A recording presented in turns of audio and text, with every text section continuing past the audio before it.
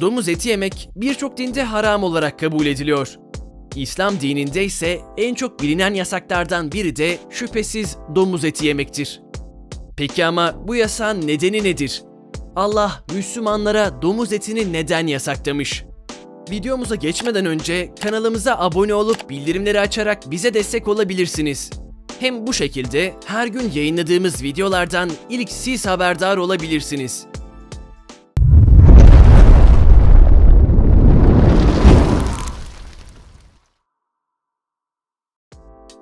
Çizgi filmlerde domuz hep sevimli bir hayvan olarak gösterilse de işin aslının öyle olmadığını bu videoyu izledikten sonra daha iyi anlayacaksınız. Domuz eti dünyada en çok tüketilen et çeşitlerinden bir tanesidir.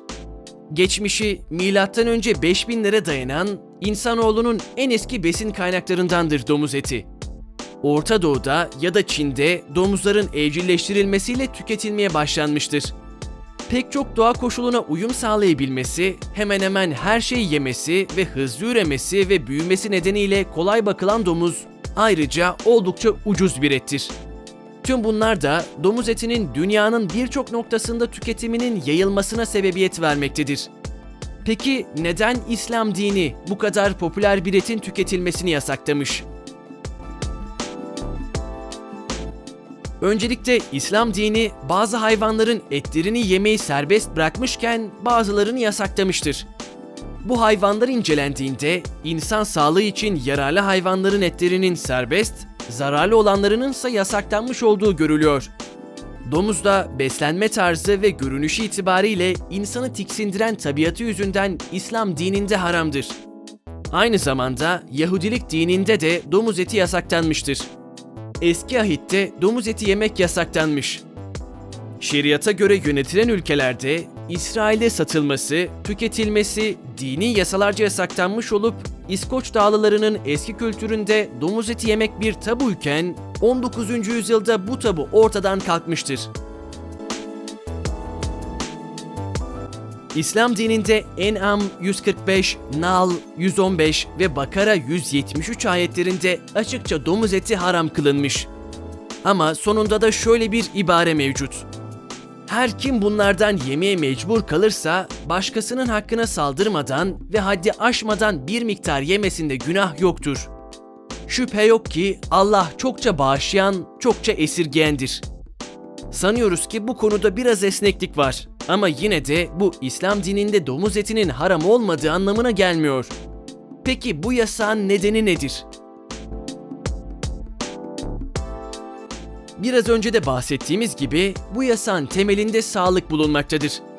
Hem fikir olmalıyız ki domuz eti insan sağlığına ciddi zararlar veriyor. Çünkü domuzlar doğada çöple beslenen hayvanlardır. Bu demek oluyor ki gördükleri her şeyi yiyorlar. Çürümüş gıdalar, dışkı, idrar, leş, kendi cenini ve hatta kanserli tümörleri bile yiyorlar. Buna ek olarak domuzlar bir de dünyanın en hızlı ve en zayıf sindirim sistemine sahiptirler. 4 saat gibi kısa bir sürede tüm yediklerini sindirebilmekteler. Yani çoğu zaman yedikleri şeylerdeki toksinleri tamamen temizleyemiyorlar ve domuz bu toksinleri kendi hücrelerinde depoluyor. Bu şu anlama geliyor. Domuz pislikleri, çöpleri ve diğer hastalıklı canlıları yiyor ve 4 saat sonra kasapta parçalara ayrılarak sofralara geliyor.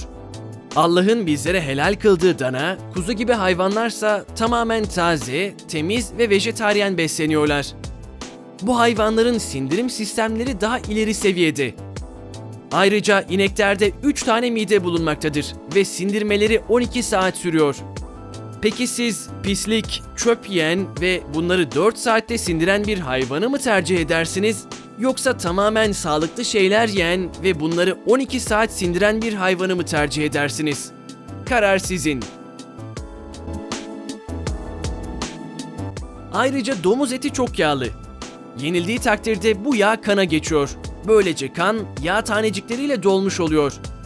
Kandaki fazla miktardaki yağ atar damarların sertleşmesine, tansiyon yükselmesine ve kalp infarktüsüne sebep oluyor. Ayrıca domuz etinde bulunan büyüme hormonunun kansere sebebiyet verdiği açığa çıkmış. Domuz etiyle geçen trişinoz hastalığının bugün bile tedavisi bulunmuyor. Bunların dışında domuzda bulunan tenyalar mide ve bağırsak yoluyla kana geçerek göz, beyin gibi önemli organlarda ağır hastalıklara hatta can kaybına sebep oluyor. Son olarak domuz eti yiyenlerde safra kesesi iltihabı, apandisit, bağırsak iltihabı, çeşitli çıbanlar, damar sertliği, romatizma gibi bazı hastalıkların görüldüğü de meydana çıkmış. Domuz etinin insan sağlığına zararı olduğu bilimsel açıdan da kanıtlanmış. Yapılan bir çalışma kapsamında Amerika ve Kanada'da yaşayan insanların 1 bölü 6'sının adelelerinde domuz eti yedikleri için trişin kurduğuna rastlanmış. Bu kişilerin bazıları hastalık belirtisi göstermezken bazıları maalesef hayatlarını kaybetmişler. Bir kısmının sol tarafı ise felç kalmış. Hepsinin ortak noktası dikkatsiz bir şekilde domuz eti yemiş olmaları. Hastalıklarının herhangi bir tedavisi ve bağışıklığı bulunmuyor. Ne antibiyotikler ne de diğer ilaç ve aşılar bu küçük ve tehlikeli kurda etki etmiyor. Tek çare mikrobun bulaşmasını önlemek. Trişinin sebep olduğu hastalığın belirtileri 50'den fazla hastalığın belirtilerine benziyor. Bu yüzden erken teşhis de pek mümkün olmuyor. Etleri tuzlama ve tütsüleme gibi metotlar da trişin kurdunu yok etmiyor. Domuz etinin trişin kurdundan temizlenmesi ise imkansız olarak görülmektedir. Bunların yanı sıra birçok uzman domuz eti yemenin insandaki kıskançlık duygusunu zayıflattığını öne sürmüş. Çünkü hayvanlar aleminde dişisini kıskanmayan tek hayvan domuzdur. Buradan da anlaşılacağı üzere domuz eti hem pis hem de sağlıksız bir ettir. Yani onu tüketmenin insana herhangi bir faydası olmazken zararı daha çoktur. Tam bu noktadaysa çok sayıda insanın aklına peki ama domuz eti pis ve sağlıksızsa neden Allah domuzu yarattı sorusu gelebilir. Bu sorunun da elbette çok mantıklı bir yanıtı bulunmaktadır. Dünya genelinde biz insanların yemediği çok sayıda zehirli hayvan ve hatta bitki bulunmaktadır. Peki bizler Allah'ın bu hayvan ve bitkileri neden yarattığını sorguluyor muyuz? Hayır, elbette sorgulamıyoruz. Çünkü dünyadaki her şey biz insanların yemesi için yaratılmamış. Aynı durum domuz için de geçerlidir. Allah tarafından yaratılmış domuz, ekosistem için büyük bir öneme sahiptir. Ancak biz insanların sağlığı için zararlıdır.